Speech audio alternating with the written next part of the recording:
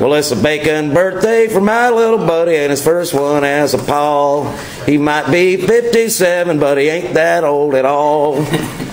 Love you, Derek Hirons, the big man from Rhode Island.